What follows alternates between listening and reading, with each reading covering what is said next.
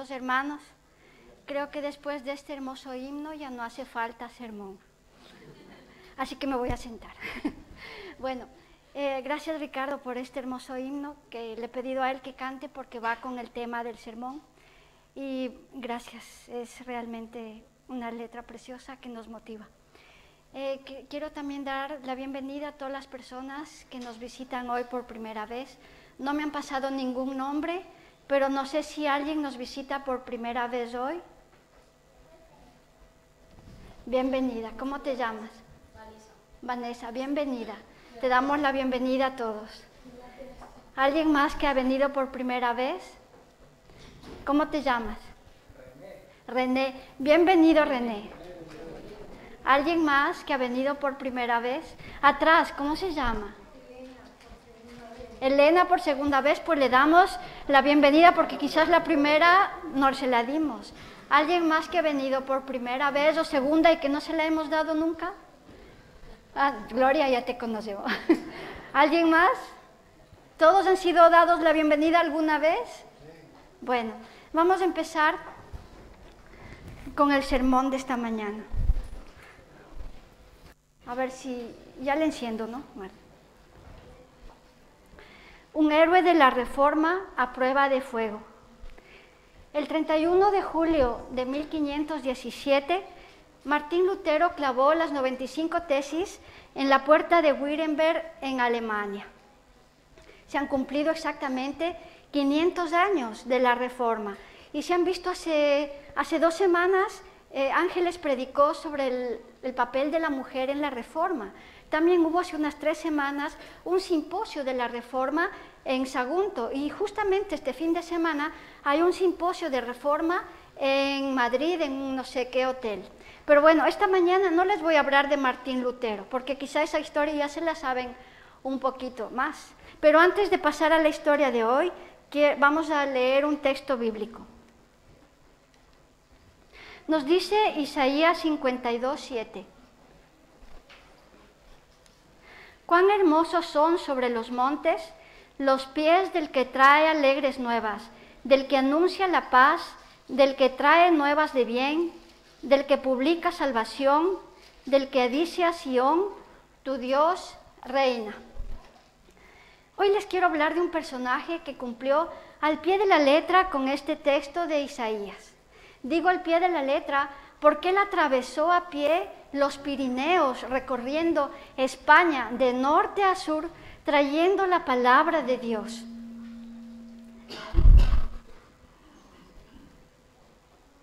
Se trata de Julián Hernández o Julianillo.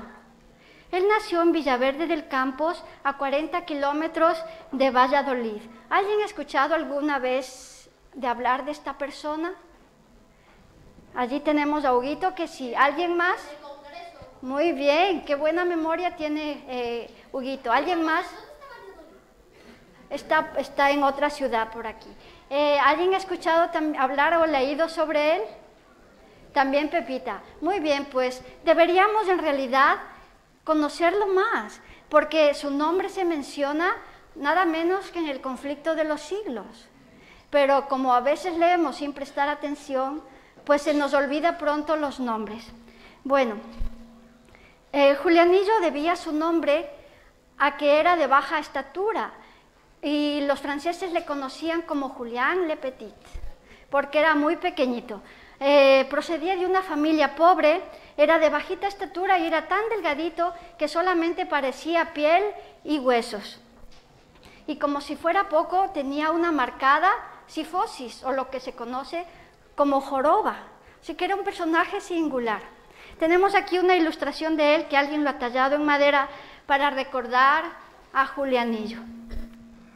Pues él era joven, no se sabe su edad, pero se sabe que era joven y que había vivido en Alemania y otros países de Europa donde abrazó las ideas de la reforma y era tan entusiasta que él deseaba compartir el Evangelio con sus compatriotas. Y aunque era una tarea difícil en ese tiempo de intolerancia y crueldad, quiero leerles lo que dice la hermana Huay en el conflicto de los siglos, a ver si ahora se recuerdan. Dice, No era tarea fácil burlar la vigilancia de los esbirros de la Inquisición, que hacían cuanto podían para acabar con las doctrinas reformadas, contrarrestando la ola de literatura que iba inundando el país. A veces se metían estas publicaciones dentro de fardos de heno o yute o en barriles de vino. Qué ingeniosos eran en ese tiempo. Y aquí nos habla sobre Julianillo. Uno de los colportores más tesoneros y afortunados en la empresa fue Julián Hernández, un enano que disfrazado a menudo de, de buhonero o arriero hizo muchos viajes a España, ya cruzando los Pirineos, ya entrando por algunos de los puertos del sur de España. Vemos que aunque Julianillo era limitado en capacidades, pero era poderoso en sus convicciones. Samuel Villa en Historia de la Inquisición escribió, Julianillo no se destacó por sus dotes intelectuales, ni por sus riquezas, ni por sus influencias, ni por su alcurnia. Sin embargo, este hombre fue con todo entre una raza de héroes el más osado, el más intrépido, el más valiente. Julianillo Hernández es el héroe por antonomasia de la Reforma Española del siglo XVI. Si quieren pasarse allá, si quieren pasar allá para que no estén con el cuello así. ¿Has pensado cuáles son tus limitaciones humanas? Muchas veces pensamos en nuestras limitaciones y deben ser muchas. Pero no te concentres en tus limitaciones, sino en el poderoso brazo de Dios. Nunca subestimes lo que el Señor es capaz de hacer contigo. Si Julianillo hubiera subestimado lo que el Señor podía haber hecho con él, pues no hubiera hecho nada, porque hubiera dicho, ay, soy pequeño, soy, tengo una joroba, soy muy delgadito, soy frágil, como decir, pero él nunca pensó en sus limitaciones. Dios es especialista en usar lo insignificante para llevar a cabo lo imposible.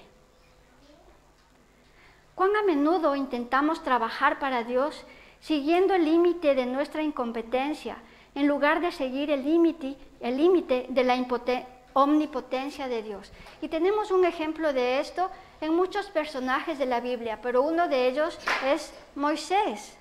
Cuando Moisés fue llamado, él no dijo, heme aquí, envíame a mí. El que dijo así fue Isaías. Y Moisés puso muchas excusas. Ay, Señor, que cuando vaya allí, pues no van a saber si tú me has enviado o no. Y el Señor tuvo que darle algunas algunas pruebas para que las presentase, le dio una vara para que cuando la tirase al suelo se convirtiese en una serpiente. Le dijo que cuando metiese su brazo dentro de su ropa la sacaría, la saldría con la mano eh, llena de lepra y que luego la metería otra vez y saldría sana. Le dio un montón de señales, pero sin embargo, después de esto, Moisés le dijo, Señor, pero es que yo soy eh, lento de habla, yo no sé hablar, yo no sé predicar, yo no sé dar un discurso. Y el Señor le dijo, ¿Quién, ¿Quién dio la lengua al hombre? No, no soy yo, le dijo, le dijo Dios a Moisés. Pero no se convenció Moisés. Y Moisés le dijo, Señor, por favor, llama a otro. Y entonces Dios se enojó con Moisés y le dijo, pues vale, a Aarón tu hermano será el que hablará por ti. Tú le darás las palabras que yo te diré y él hablará en mi nombre.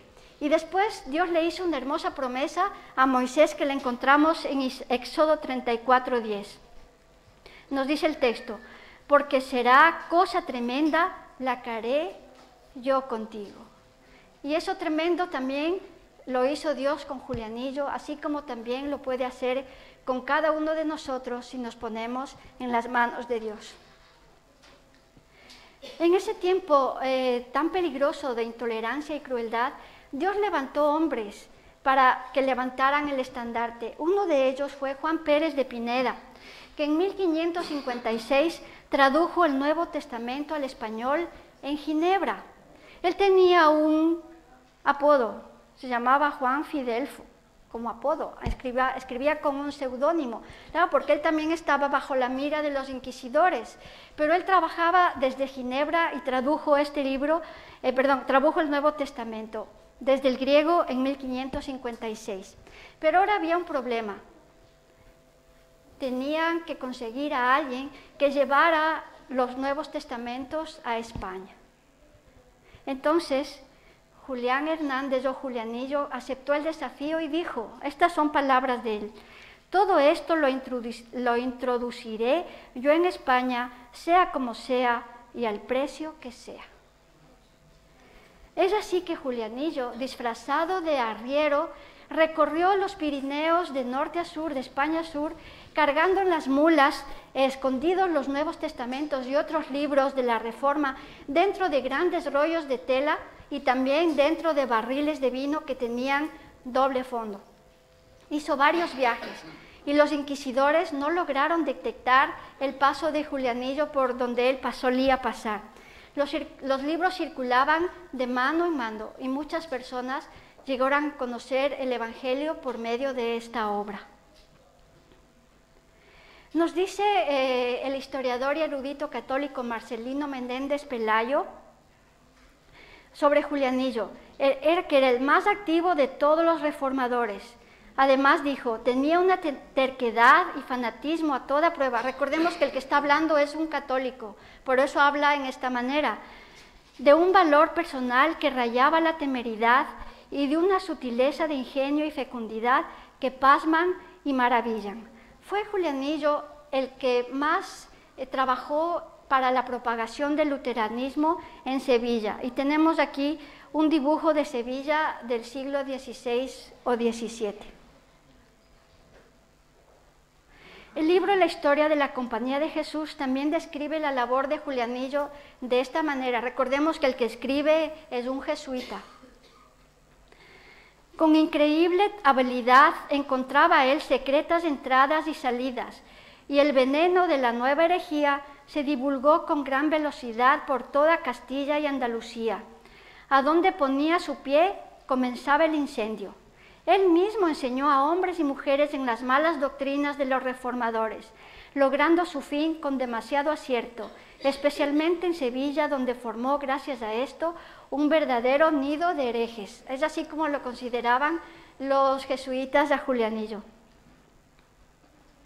También el, jesuita Fran Santiáñez escribió, era Julián un español que salió de Alemania con designio de infestar toda España y corrió gran parte de ella repartiendo muchos libros de perversa doctrina por varias partes y sembrando las herejías de Lutero en hombres y mujeres, y especialmente en Sevilla. Era sobremanera astuto y mañoso, no lo querían para nada, condición propia de herejes. Hizo gran daño en toda Castilla y Andalucía, entraba y salía por todas partes, con mucha seguridad, con sus trazas y embustes, pegando fuego en donde ponía los pies. Esta cita la pueden encontrar también en el conflicto de los siglos, en el capítulo El despertar en España. Podemos ver este hermoso texto de Apocalipsis que nos dice, no temas en nada lo que has de padecer, sé fiel hasta la muerte y yo te daré la corona de la vida. Ah, me equivoqué. Lo que vemos aquí es una imagen del monasterio San Isidoro, del Campo, que estaba a cinco kilómetros de Sevilla. Y es allí uno de los lugares donde hubo un acontecimiento eh, muy importante. Pero antes de eso, una de las frases de Julianillo, otra de las frases era, todos los que se crucen en mi camino oirán mi testimonio. Y allí en este monasterio es donde la luz brilló donde la luz de la verdad brilló con más fulgor. ¿Saben por qué? Porque en este monasterio se guardaron muchos de los libros y Nuevos Testamentos traídos por Julianillo y desde allí eran distribuidos a la comunidad clandestina que se reunía en Sevilla. Tanto es así que dentro del monasterio mismo hubo una reforma. Habiendo recibido los frailes un buen surtido de ejemplares de los Nuevos Testamentos y libros protestantes los leyeron con avidez. Las horas llamadas al rezo fueron dedicadas a oír conferencias sobre las sagradas escrituras. Los rezos por los difuntos fueron suprimidos o sustituidos con enseñanzas para los vivos. Se suprimieron las indulgencias y las dispensas papales. Del sistema antiguo no quedaba más que el hábito monacal. Pueden leer también en el conflicto de los siglos esto que les estoy diciendo.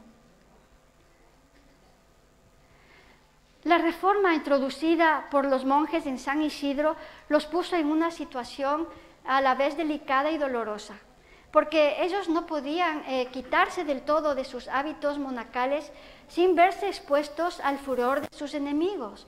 Tampoco podían conservarlos sin caer en culpable inconsecuencia, porque ellos ya habían abrazado la reforma, entonces no sabían qué hacer. Y doce de ellos decidieron abandonar el monasterio por diferentes lugares y se pusieron a salvo fuera de España. Dos de estos monjes que lograron escapar fueron los primeros traductores de toda la Biblia al castellano. Eh, recordemos que Juan Pérez de Pineda tradujo el Nuevo Testamento, pero no toda la Biblia. Pero hubo dos personajes que tradujeron toda la Biblia al castellano. Estos fueron eh, Casidoro de la Reina y Cipriano de Valera. Casidoro de la Reina tradujo toda la Biblia eh, en, en 1569 y Cipriano de Valera la revisó en 1602. Y de allí salió la Biblia del oso, que vemos aquí la ilustración que se ve un oso comiendo miel. Y era porque el que hizo, como decir, la imprenta puso esa gráfica en la Biblia y se quedó como la Biblia del oso. Y desde allí, pues es la que hoy conocemos como la Reina Valera. La versión Reina Valera ha sido la herramienta más poderosa que se haya conocido para la difusión del Evangelio de Jesucristo en el mundo hispano, trascendiendo los tiempos y los continentes. Qué importante fue la labor de Julianillo. Leemos también en el conflicto de los siglos sobre este tiempo de la reforma en España. Los amigos del movimiento evangélico en Suiza, Alemania y los Países Bajos seguían mandando a España gran número de publicaciones. Había una gran ola de literatura que iba inundando el país. Muchos miles de tratados y de libritos fueron introducidos de contrabando. Era una época en la que la palabra impresa había tomado un vuelo que la llevaba como el viento lleva las semillas hasta los países más bajos. Los amigos del movimiento evangélico, eh, perdón, ese ya leí, Em, la Inquisición trataba de impedir con redoblada vigilancia que dichos libros llegasen a manos del pueblo. Ediciones enteras fueron confiscadas. Hace unos 40 años que las primeras publicaciones que contenían las doctrinas reformadas habían penetrado en España. Los esfuerzos combinados de la Iglesia Católica Romana no habían logrado contrarrestar el avance secreto del movimiento, y año tras año la causa del protestantismo se había robustecido hasta contarse por miles los adherentes de la nueva fe. Fue entonces cuando una serie de circunstancias puso al descubierto y llevó al descubrimiento de los centros del movimiento de la Reforma en España. Se cuenta que un día que Julianillo estaba compartiendo el Evangelio en una a las afueras de Sevilla, le regaló un Nuevo Testamento a un hombre que trabajaba como herrero. Este hombre lo denunció ante las autoridades y Julianillo tuvo que huir rápidamente de Sevilla y regresó a Ginebra. Ahora él podía decir, como los discípulos de antaño, ahora Señor, escucha sus amenazas y ayúdanos a nosotros, que somos tus siervos, a anunciar tu mensaje con valentía. No pudiendo Julianillo permanecer oculto por mucho tiempo, regresó a España con un nuevo cargamento de libros y trajo un libro eh, traducido por Juan Pérez de Pineda, eh, titulado Imagen del Anticristo. Este libro ahora se me olvidó el nombre de quien lo escribió, pero fue escrito por un obispo y, y Juan Pérez de Pineda lo tradujo al castellano. Y este libro, junto con una carta, fue traído por Julianillo. Este libro y la carta tenían que ser entregados a un tal sacerdote González, que, aunque era católico había abrazado el protestantismo. Pero el problema es que había dos padres González y los dos padres González gozaban de cierta popularidad en Sevilla. Y el libro fue entregado por error a que, a que no saben quién, al otro padre González. Y cuando el padre González, que no tenía que haber recibido el libro, vio la carta que venía de Ginebra, dijo, no conozco a nadie en Ginebra. Y cuando vio el libro, la imagen del anticristo, Lo que más le dio un casi le da un patatús es porque en la portada del libro se veía al Papa de rodillas ante Satanás.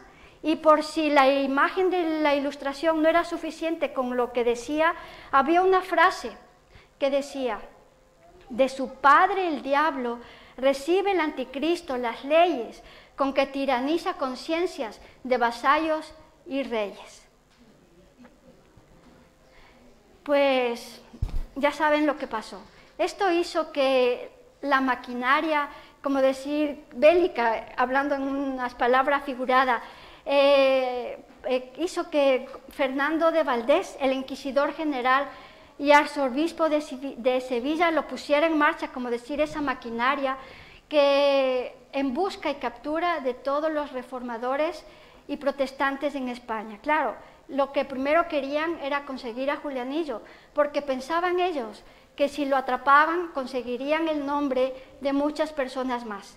Así que los soldados de la Inquisición se pusieron en marcha en busca de Julianillo y lo buscaron por lupa, con lupa por toda Sevilla. Pero Julianillo ya saben que era muy astuto, así que logró escapar de Sevilla y se puso a salvo de Sevilla.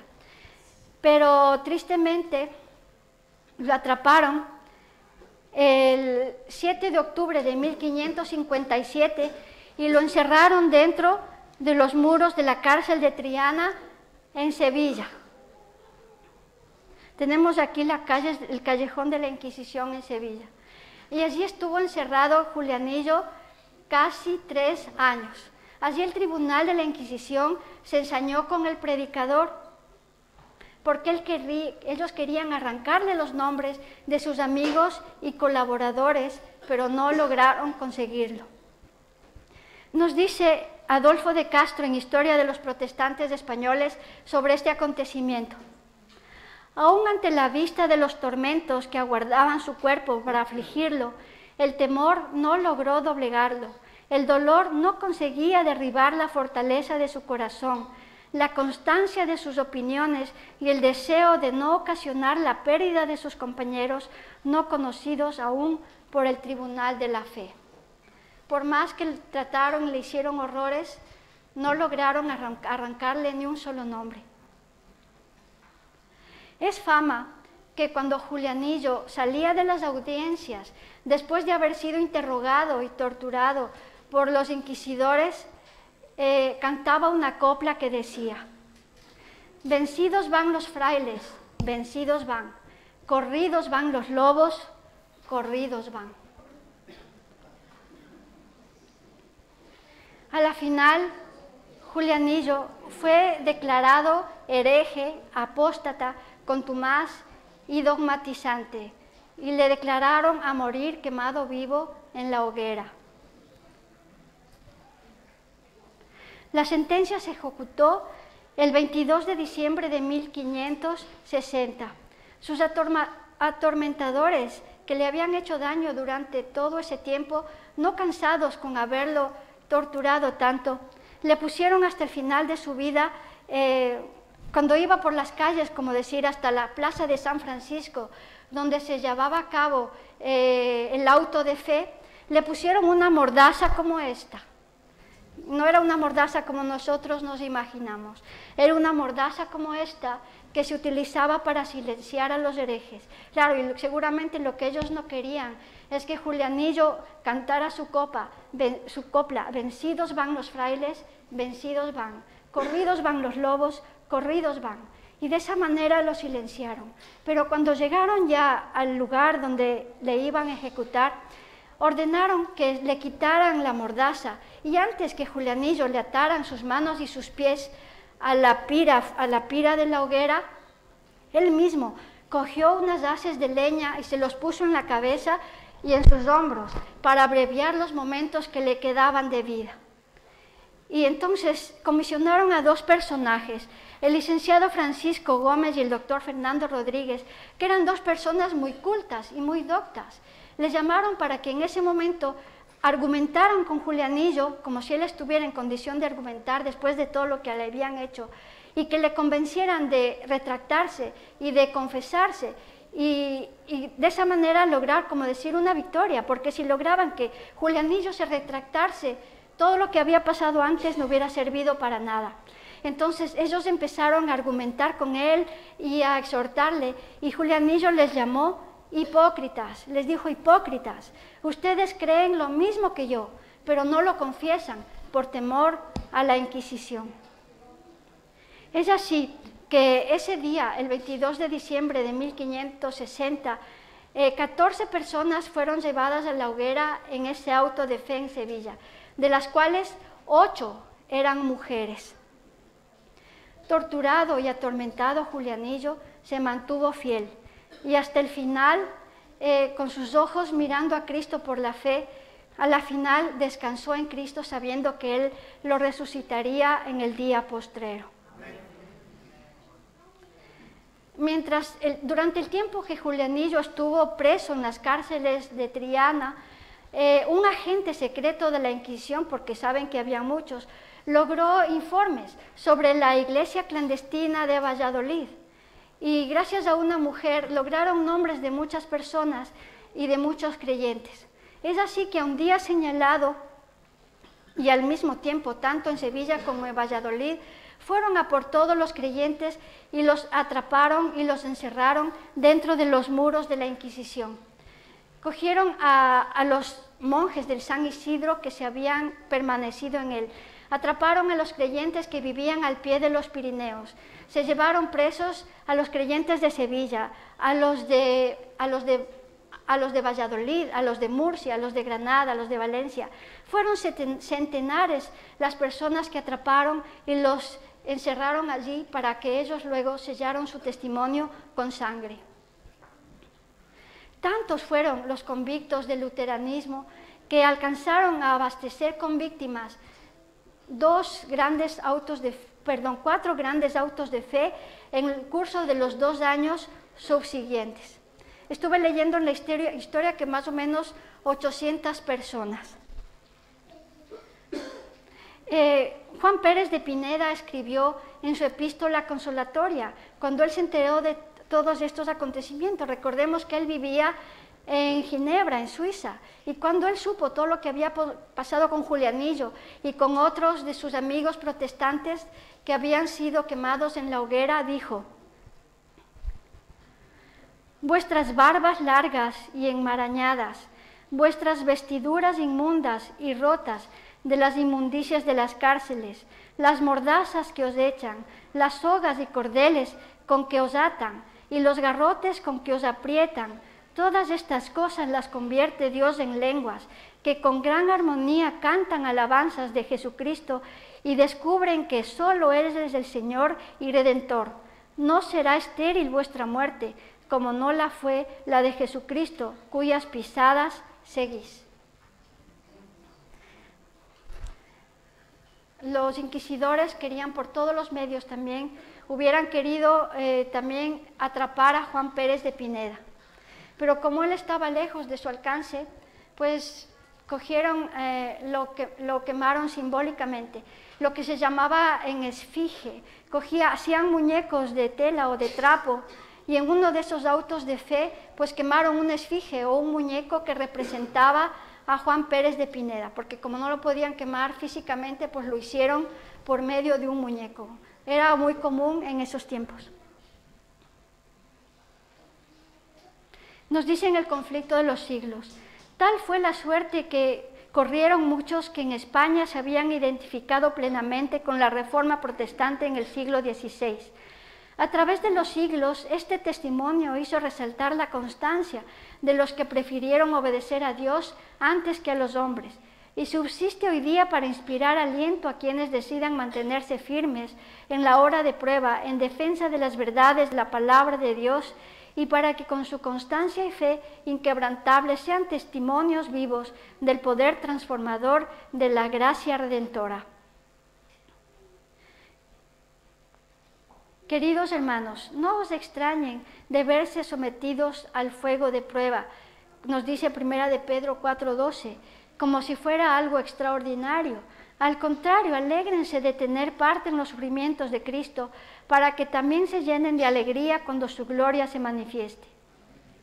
Pero si alguno padece como cristiano, no se avergüence, sino glorifique a Dios por ello. ¿Cuál es tu visión de la misión? ¿Un sacrificio o un honor?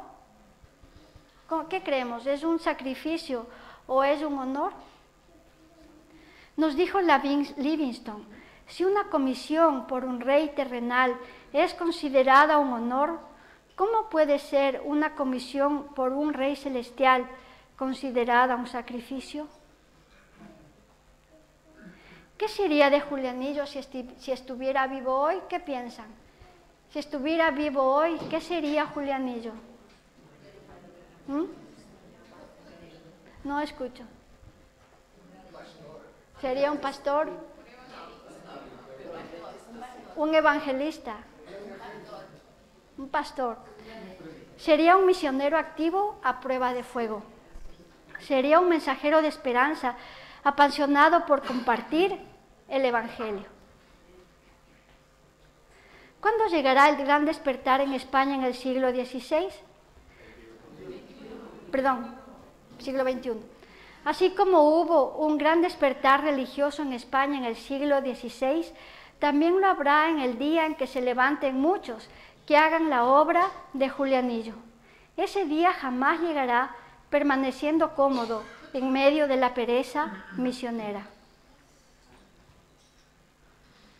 Nos dice en el conflicto de los siglos, ¿por qué parece adormecida la persecución en nuestros días? El único motivo es que la Iglesia se ha conformado a las reglas del mundo y por lo tanto no despierta oposición. Revivan la fe y el poder de la Iglesia primitiva y el espíritu de persecución revivirá también y el fuego de la persecución volverá a encenderse. Vemos ahí la razón. Nuestra mayor defensa como pueblo de Dios no es el silencio, sino la predicación de la verdad. A medida que se acerca el fin, los testimonios de los siervos de Dios se harán más decididos y poderosos. Leemos en eventos de los últimos días.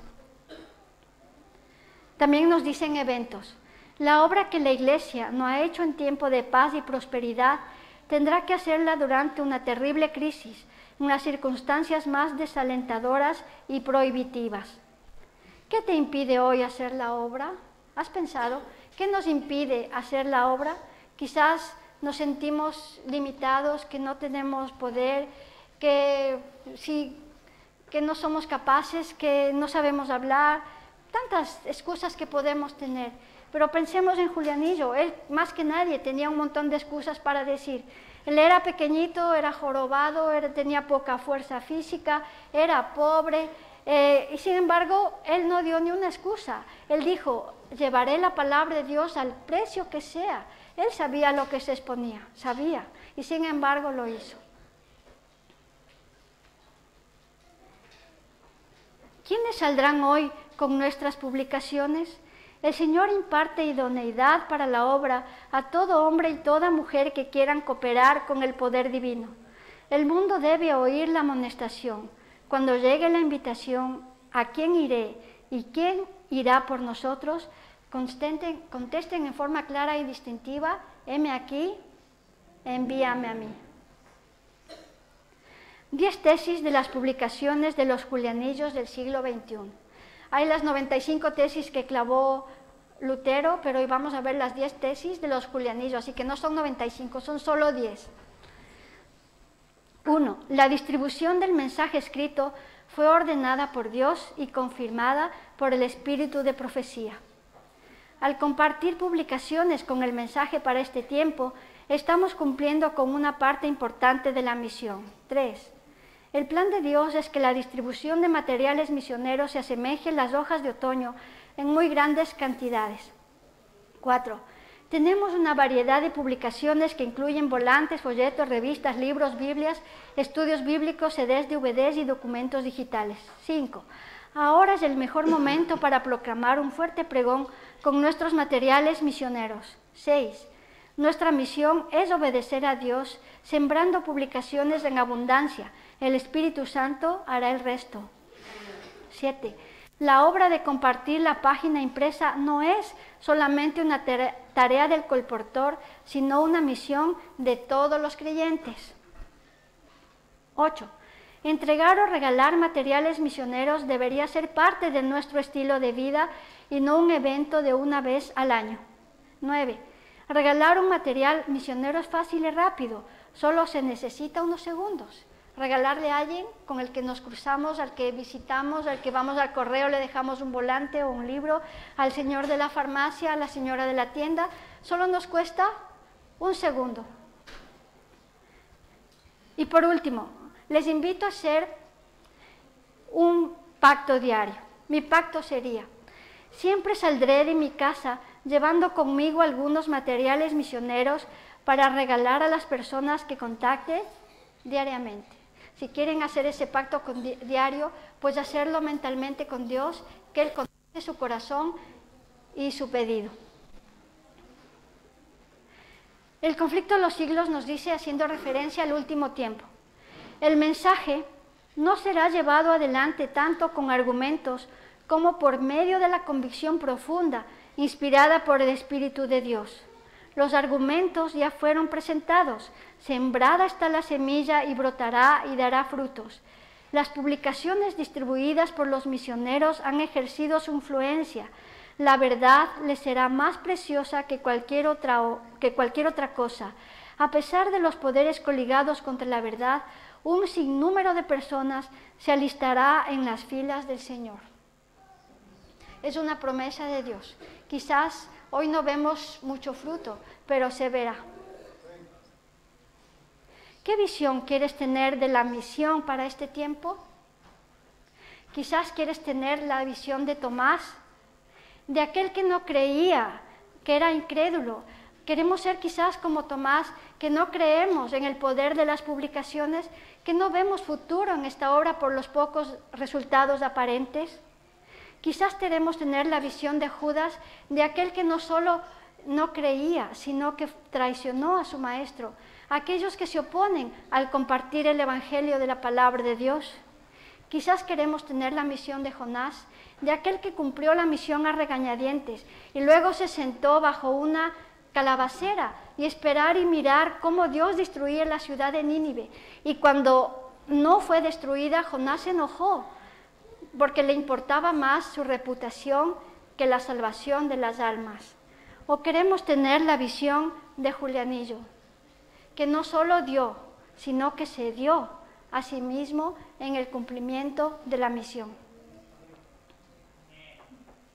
Este hermoso pasaje les quiero leer Salmo 126, 6, antes de terminar. Irá andando y llorando el que lleva la preciosa semilla, pero al volver vendrá con regocijo, trayendo sus gavillas. ¿Quieres ser un Julianillo del tiempo del fin? ¿Quieres ser un Julianillo del tiempo del fin? Vuelvo a preguntar, ¿quieres ser un Julianillo del tiempo del fin? Si es así, te invito a ponerte de pie y hacer esta oración conmigo.